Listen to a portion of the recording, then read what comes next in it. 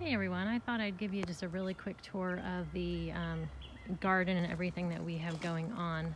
Um, back here we just had a bunch of trees taken down to work on some drainage issues and left the mulch pile here because this is going to be the future site of our hoop house. Um, so we're going to work on getting that area going.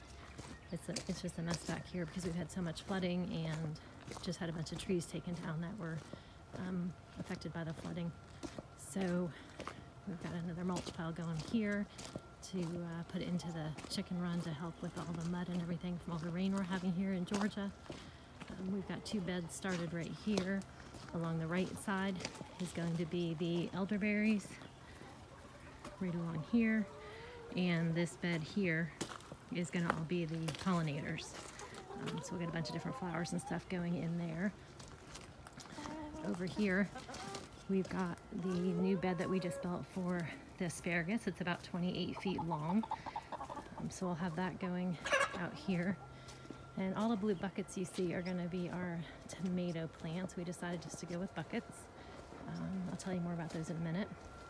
Out here, this bed here is gonna be for our blueberries um, that we got from our friends at Trusty Plow Farm.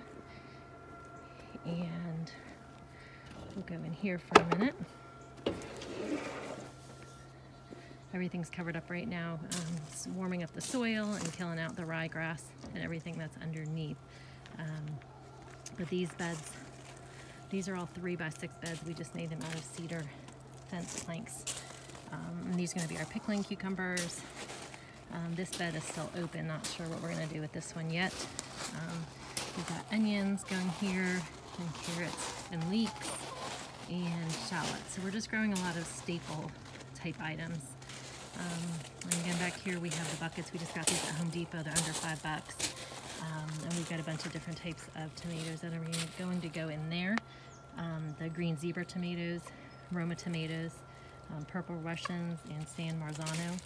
Uh, we're going to do some tomat tomatillos up in the other area of the garden. Um, over here we've got in the greenhouse. We've got a couple things going. Show you real quick. Alright, so in here we have our onion starts. Um, we also started some inside under the LED grow lights. Um, we kind of missed the boat on getting these planted in the fall, so we're just going to see you know, what works out. We've got our blueberry starts and our elderberry starts, which are doing really, really well. They all look nice and happy. And here we have some more so we'll just see what happens with those. You can see our lettuce is still doing really well. Um, I just open it up on the days when it's not pouring rain, which isn't very often. Um, and then the spinach is doing okay. We didn't really plant a lot of it. It's our first time. Um, these are going to be for the potatoes here. And then we're going to have more cucumbers back here in this little bed. And then along here we've got three different varieties of garlic. We've got different varieties of strawberries going behind there and some more strawberries over here. And up in these fire rings up here is going to be our raspberry plants. And then we have a row behind here of lots of creeping rosemary. And then we just have junipers that we planted on this hillside um, to help with the erosion control. This hill's just really been a nightmare since we bought the house, so this is kind of where we ended up. And I'll bring you up to the other garden. This is our gate that I love. We built it out of garden, um, not garden, bed, headboards, and footboards. And we just joined them together and gave it some spray paint. Super functional. I love the color. So we've got a couple more buckets. I'm not sure what we're going to put here, but we've got five buckets going up the steps. These will be kind of for the onesie twosie kind of plants that we're not really growing a lot of. So we've got five of those. And then up here is really just going to be our container garden. about 60, 70 feet long, goes between here and our little cottage over there. We'll probably do the tomatillos up here, the jalapenos, poblanos, banana peppers, um, I'm not sure what else yet. We're just gonna see what we've got from our seed exchange.